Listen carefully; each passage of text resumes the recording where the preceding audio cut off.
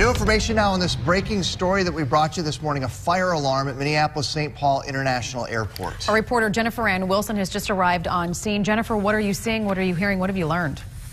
Well, we've learned that things have calmed down quite a bit now. Uh, we're not really seeing the flashing lights we saw here earlier, and uh, the Metropolitan Airport Commission says the operations are back to normal. But uh, as you can, but earlier there was quite a lot of action, a lot of flashing lights. There was smoke, a fire alarm that went off in the G concourse, which is just behind me here. You can see a, a couple of flashing lights off in the distance. But at this time, uh, around 5.09 in the morning, those sprinklers came on, and officials believe the fire started in a break room. The fire is out now, and G1 through G6, although it was evacuated, is now reopened.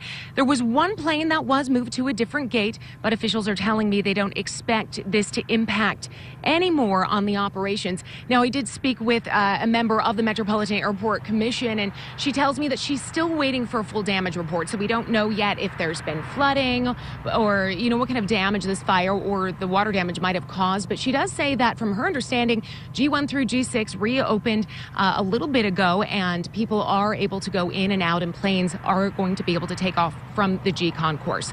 Reporting live at the airport, Jennifer Ann Wilson, 5 Eyewitness News. All right, Jennifer, thank you for that. Let's now go to